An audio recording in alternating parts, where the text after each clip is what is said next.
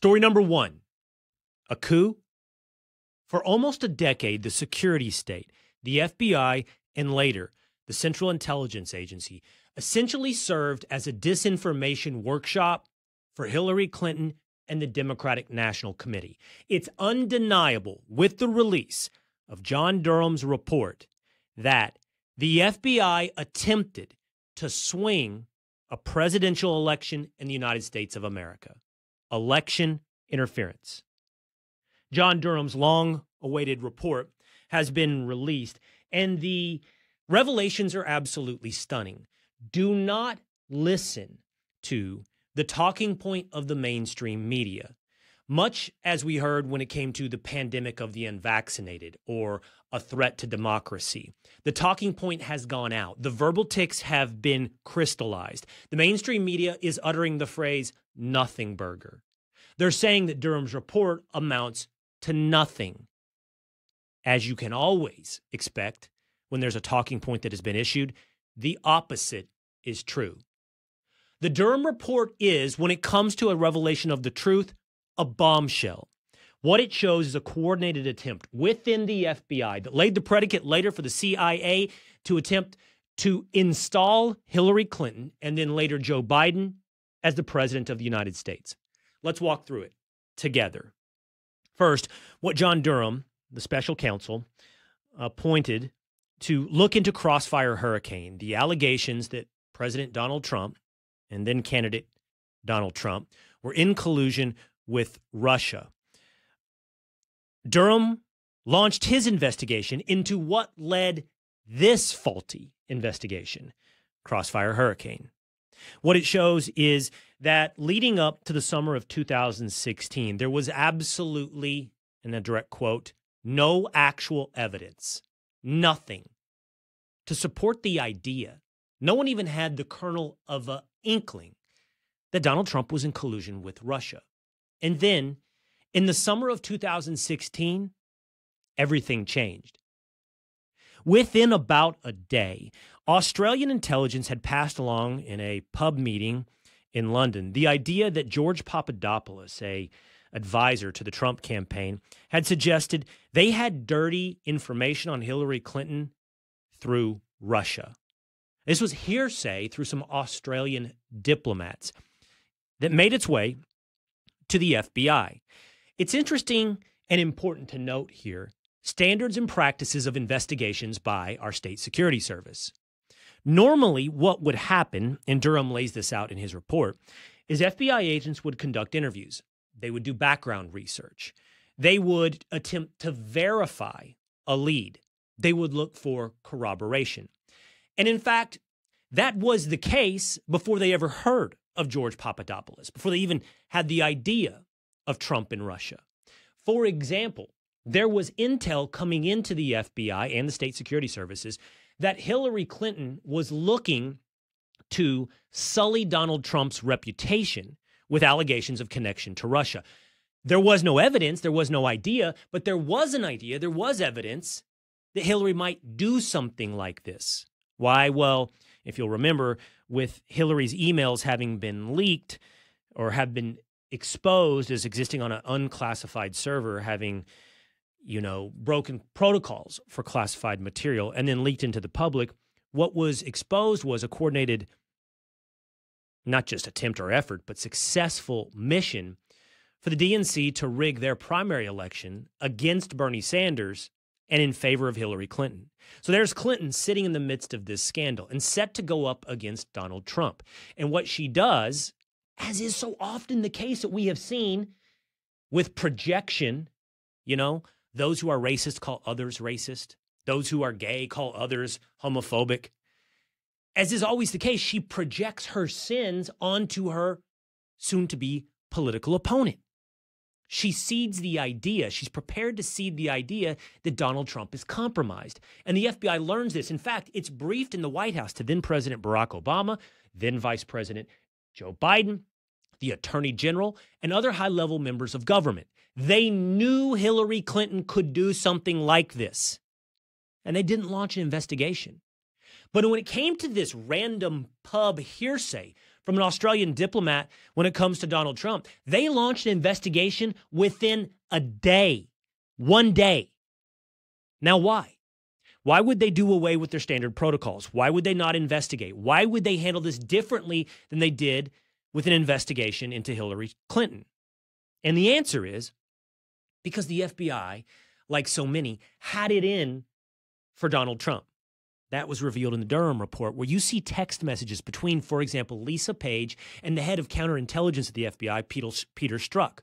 You can see texts where they're like watching the Republican primary debates. They're watching Donald Trump. They're saying, oh my God, he's horrific. You know, maybe like some of your relatives and some of your friends, you're familiar with the text. He's a bore. He's terrible. He's horrific. And there's one text in particular that caught my attention. Page texts Strzok, oh my God, he's not really going to become president, is he? And Strzok responds, no, no way. We'll stop it. That right there should scream across every headline. The head of counterintelligence in the FBI publishes a text, no, no way. We'll stop it. Stunning. And within a day, at the slightest bit of hearsay, he had his predicate to go attempt to stop Donald Trump.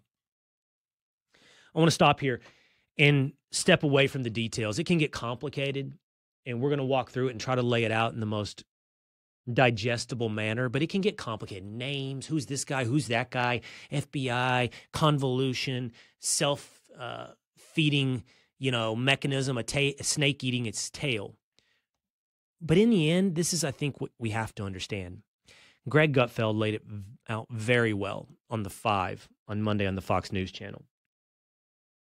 One thing that's undeniable is that for those that hate Donald Trump, they considered him an existential threat to democracy. They've laid it out, they've said as much. It's not just that he's horrible or horrific in their estimation, it's that he's Hitler. It's the death of democracy. He's a threat to our democracy. And because you believe that, not only are you willing, but it would be heroic for you to break the rules, to lie, to smear, to run disinformation campaigns, to break laws, to do anything to take down Hitler. If you have cast yourself in the play, a play of an existential crisis, it's a threat to the existence of the United States of America, what would you do? Better asked, what wouldn't you do? It's like that internet debate. If you could go back in history and you were sitting there, would you kill baby Hitler? It's like this interesting morality conundrum that people put to one another.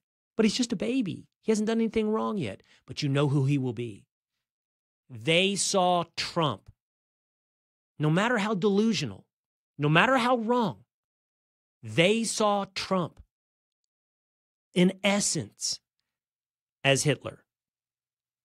And so there's Peter Strzok, the head of counter intel at FBI. Fancy title, but in the end, no different than your aunt, who thinks Trump is a threat to democracy. From there, here's what happens. With that scant evidence on George Papadopoulos, they begin to open up FISA warrants and intel and surveillance on the Trump campaign.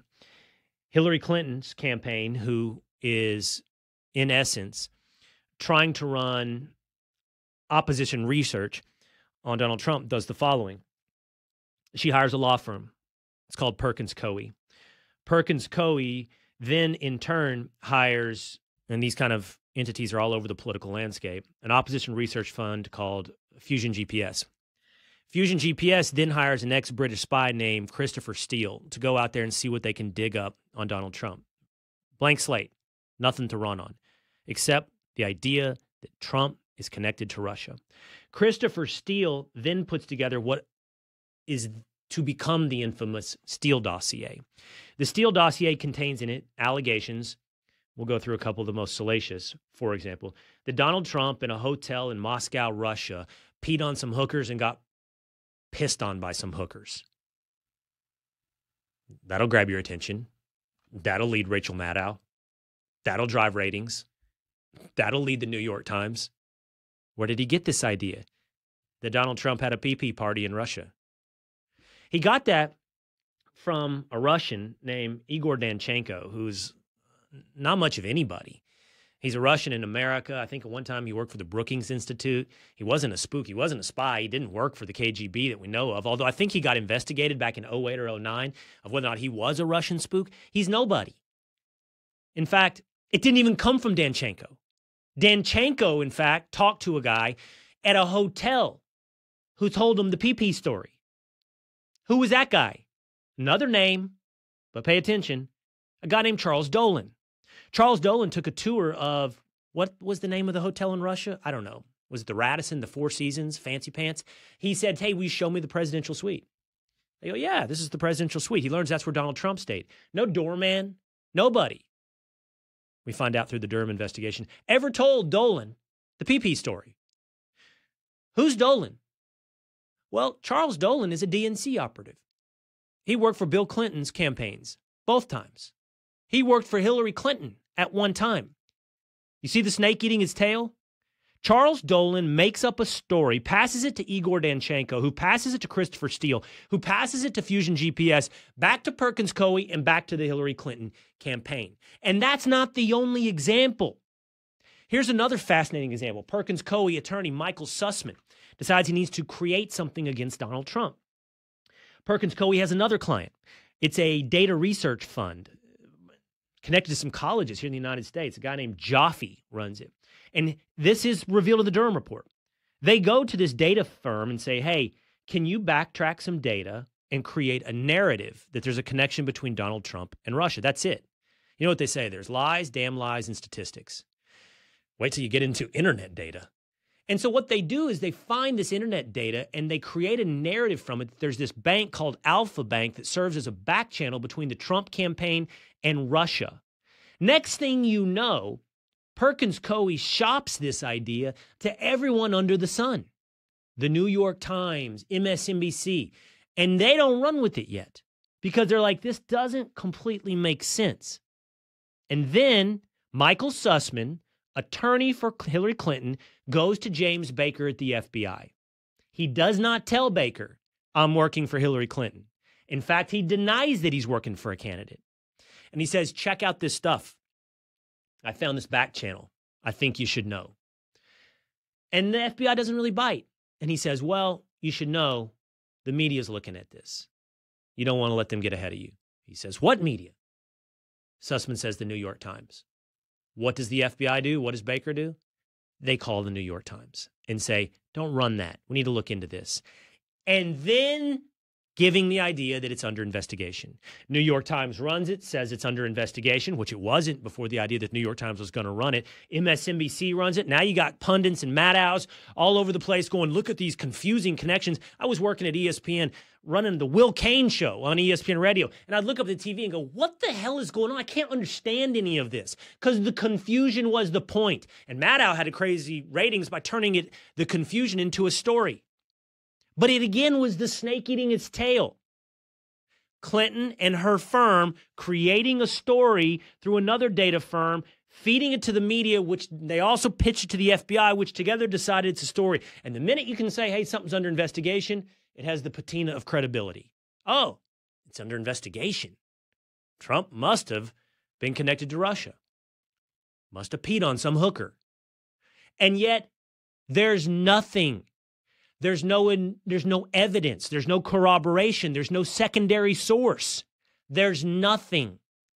Why? That's not how the FBI should or in most cases does operate. But the answer to why is that James Comey, head of the FBI, and Peter Strzok and half a dozen to a dozen others saw Donald Trump as Hitler.